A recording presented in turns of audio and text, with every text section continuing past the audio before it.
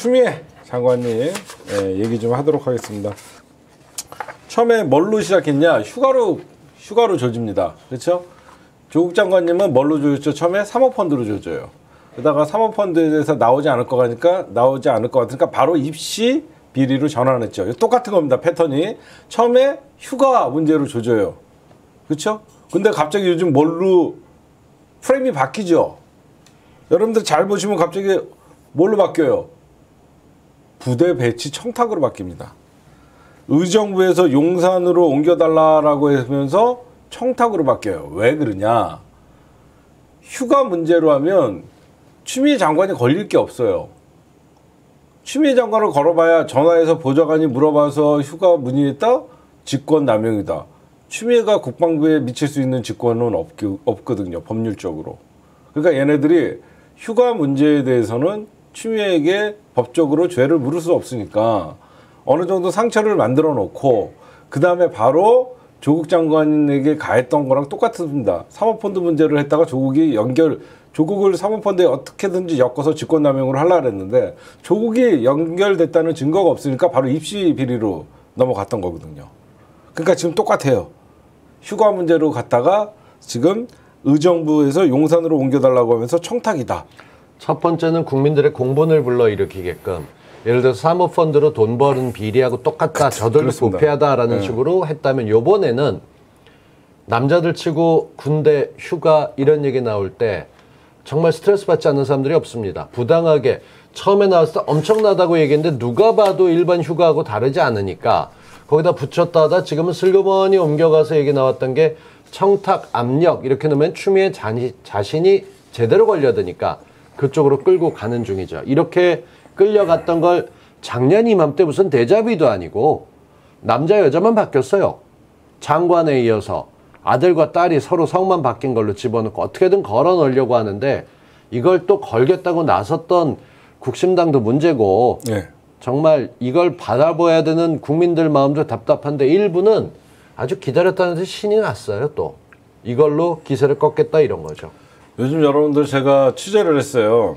뒤에 보이시는 요즘 여러분들 추미애 장관 저격수로 제2의 개상도 아, 곽상도 제2의 곽상도라고 불릴 수 있는 신원식이가 갑자기 나오죠.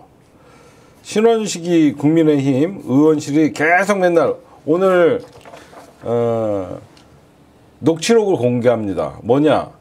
주한 미, 미 8군 한국군 지원단장이었던 A 대령 예비역과의 통화 목록 그래서 야 신원식이가 군대에서 뭘 했길래 이렇게 뭐 한국군 여러분들 알다시피 카추사라는 것은 주한미군 지원단이에요.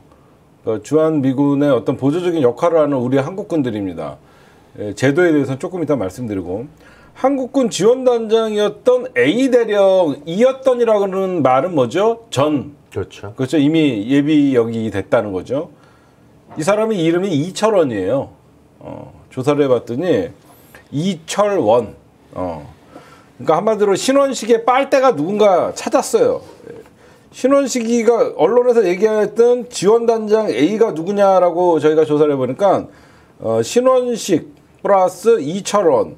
그래서 어떻게 신원식이는 계속 자기가 얻다가 전해갖고 이런 정보를 얻나 카츠 한국군 지원단장이라는 것은 카츠사의 대빵인 거예요. 그렇죠. 카츠사의 대빵이 대령인 거예요. 그렇죠? 그래서 어, 이철원이를 봤더니 어, 이 신원식이가 그 합참 차장까지 했었어요. 중장일 때 부하였어요. 어, 같이 근무했던 부하입니다. 한마디로 어 나야 어 뭐 신대령 뭐 이대령 그 있지 어 그 녹초 하나 해줄 수 있나?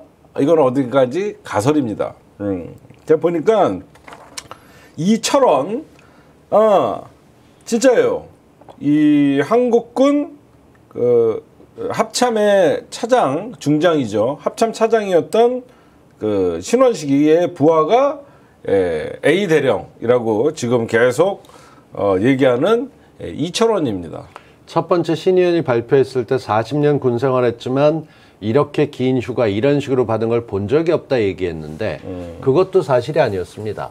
평균보다 절반밖에 안 되는 걸로 뭐 작게 했다면 모르겠지만 자기 주변에 있는 부하들은 어땠는지 모르지만 대한민국 병사들이 근무했던 휴가 나갔던 일수하고 하루가 오히려 부족합니다. 네. 그러니까 군인에 대해서 군대에 대해서 잘 모르죠. 음. 그러니까 자기 밑에서 데리고 있었던 부하한테 전화 걸어서 야 이거 어떻게 된 거야? 그러면 똑같이 오버해 가면서 아 이런 일은 절대로 없습니다. 말도 안 됩니다. 라고 하는 걸 녹음해서 낸 건데 음. 사실 확인하면 금방 드러날 일인데 추미애 아들의 변호인단만 바쁘게 움직이고 있습니다. 이분들이 이렇게 적당할 땐 한국군 거 규정을 갖다 끼기도 하고 음. 조금 지났을 때는 카투사 걸 갖다 끼기도 하고 이리저리 왔다 갔다 하면서 무언가 부당하고 압력이 있었다는 얘기만 계속 끌고 가고 있는데 앞뒤가 하나도 안 맞아요. 그러니까 여러분들 생각하실 때 왜 미통당이 저렇게 계속 물고 늘어지냐면요. 이, 이 문제는 추미애 장관에게 불리해요. 당연히 왜 그러냐면 카추사라는 부대는요. 여러 일반 그 우리 수많은 젊은이들이 가는 일반 육군 보병 부대와는 전혀 다릅니다. 그러니까 남들이 볼 때 밖에서 볼 때는 카추사는 굉장히 선발된 사람들 어, 어떤 그 특혜를 가지고 군대 생활을 했다고 생각해요. 사람들이 군대 갔다 와서 어디 갔다 와서 카추사 편했겠네. 그렇죠. 카추사 니꼴 편했겠나라고 얘기해요. 그러니까 일반 젊은이들이나 일반 군대 갔다 온 사람들의 느낌은 카추샤를 갔다 왔다라고 하면 굉장히 아 군생활 편하게 했네 이런 느낌이 들어요. 그러다 보니까 카츠사 안에서 일어났던 일들을 얘기를 하면 상상을 못해요. 저는 이거는 추미애 장관 아들의 문제가 아니라 저는 이 많은 카츠사 복무병들의 인터뷰를 저희가 한번 준비를 해볼게요. 그러면요, 어, 나 때도 그랬는데 대부분 그럽니다. 한마디로 장교와 사병의 구분이 한- 그러니까 룰은 미국 룰을 따르고 관리는 우리나라가 하는 예? 어떤 그 휴가나 그런 것들은 국방부에서 주고 어떤 그 미군과의 어떤 같은 그 생활을 하다 보니까 그 미군의 휴가 절차나 뭐 어떤 그 병영 생활의 지침을 따르는 예, 그런 제도예요. 그래서 어떻게 보면 이 카추사 자체가 저는 제도적으로 좀 보완해야 되지 않나 그런 생각을 합니다. 일단 뭐 다른 건 아니고 언론이 잘못 나가고 있는 부분들은 몇 개 짚어낼 필요가 네. 있습니다. 네. 이 어떤 문제가 나왔을 때 늘 서류가 보관돼 있지 않다 그러면 없어졌다. 우리 음. 왜 조국 장관 대학원 압수수색 할 때도 연세대학교 문제 나왔을 때 그런 게 아니었었잖아요. 음. 지금도 있는 게 육군 규정을 문제 삼고 있는 언론이 있지만 카투사는 주한 미 육군 규정 600-2가 우선 적용이 된다라고 나와 있습니다. 여기에 따라서 휴가 서류는 1년간 보관하게 돼 있는데 육군 규정은 5년이에요. 그러니까 야 5년간이면 서류 있어야 되는데 왜 없어 잘못됐네. 육군 규정이 아니라 1년으로 돼 있는 거기 때문에 규정 위반이란 보도 자체가 잘못됐습니다. 그러니까 확인도 안 하고 우리나라 상황을 안 보고 있는 거고 1차, 2차 병가 끝나고 난 다음에 요양심이 받아야 된다고 하는데 그 뒤에 일반 휴가를 썼기 때문에 날짜가 많지 않아요. 그러니까 문제가 전혀 없는 걸 갖고 늘어지면서 휴가 문제는 사실상 지금 뒤로 슬쩍 물리는 쪽입니다. 그러니까 여러분들에게 말씀드리고 싶은 언론이 만약에 마치 그 청탁을 해서 의정부에 있는 추미애 장관님의 아들을 그 용산으로 뺐다. 그래서 청탁이다라고 하는데 여러분들에게 좀 읽어드리겠습니다. 어, 카츠사의 자대 배치 방식을 여러분들에게 좀 알려드리겠습니다. 첫 번째, 카츠사는 선발 후 논산에서 전반기 5주 훈련을 받고 의정부에서 후반기 교육 을 받습니다. 3주. 그러니까 전반기에는 논산에서 5주, 후반기에는 의정부에서 3주, 총 8주의 훈련을 받습니다. 후반기 교육 퇴소식 때 가족들이 면회를 오고 부대 배치 및 보직은 가족들이 보는 상태에서 컴퓨터 난수 추첨으로 방식이 결정됩니다. 그 여기까지는 거의 비슷하죠. 논산 훈련소 끝나고. 그다음에 세 번째 따라서 부대 및 보직 배치와 관련한 사항에 대해서 어떠한 외부 개입도 원천적으로 불가능한 구조입니다.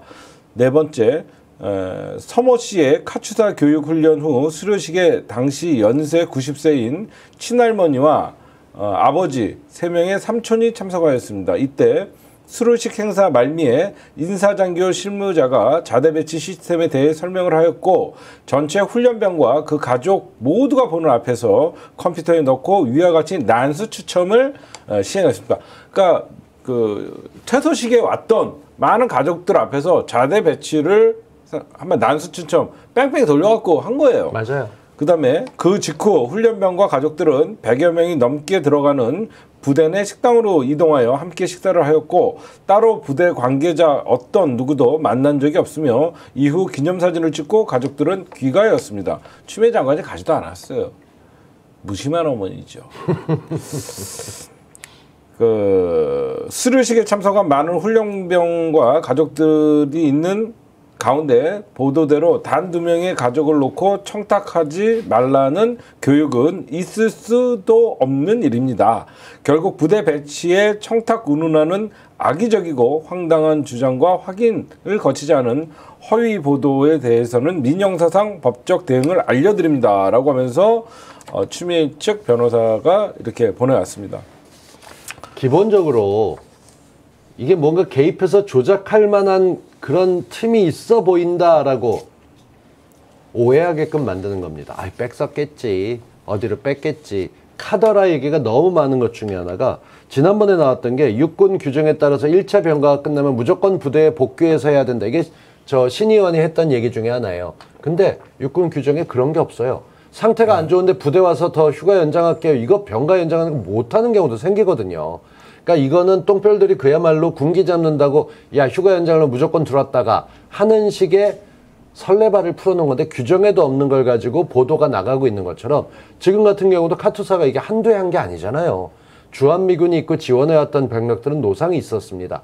거기서 추첨을 통해서 공정하게 이쪽도 얼마나 많이 있겠어요. 군무원 출신의 자제도 있을 거고 여기저기 좋은 데 해주세요. 뭐 이런 것들이 있는데 그걸 빼려고 난수 추첨 가고 있는 건데 이걸 집어넣어서 청탁했다고 만들어내는 언론 자체가 사실보다고 거리감은 추측의 루머의 소설이죠. 그러니까 소설 쓰시네라는 얘기가 나오는 그렇죠. 거예요. 이게 그 카츠사 출신들이 볼 때는 이거는 전혀 문제가 되지 않습니다.